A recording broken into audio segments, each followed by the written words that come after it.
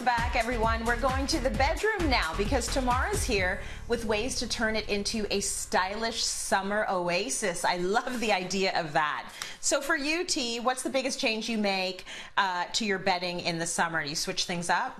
I do. I, I cooled it down. Um, I've recently just put away the duvet, which I tend to like for three seasons of the year, and I've swapped it out with um, my summer quilt.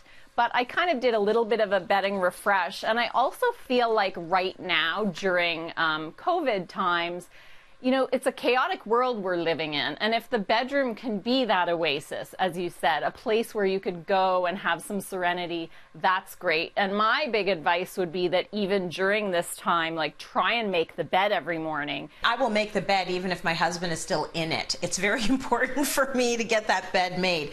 Can we talk about the pillows?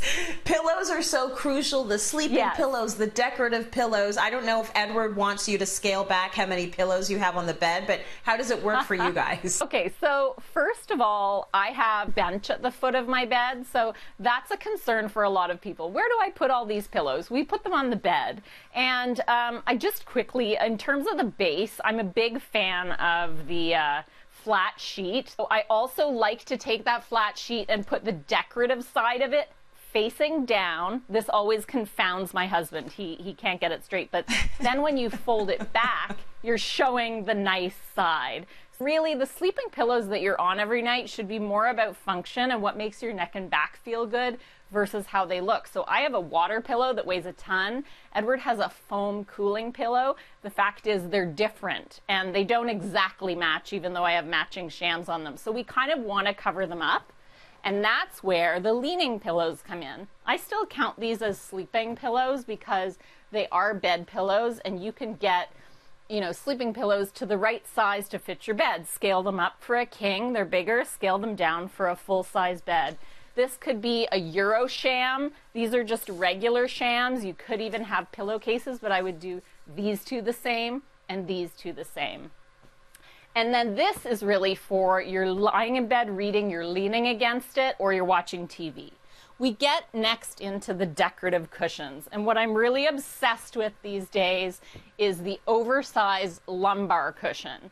So this is gorgeous. It's from Tonic Living. What I like about it is really that you can just have one and then you're done. It makes things quite simple. It's super fresh looking, a little bit different. They call it a bolster, but it doesn't have the round sides I had in the 80s. And then if you want to amp it up a notch, you can throw a small lumbar in the front. Another variation would be something different, a grouping of three. So there's lots of ways to style it. These are kind of my go-tos for my own house and when I'm styling up an interior for a photo shoot. So we have that. That's beautiful. I love that. I love playing with the pillow configuration because if you got a fresh configuration of pillows, you almost feel like you've refreshed the whole room.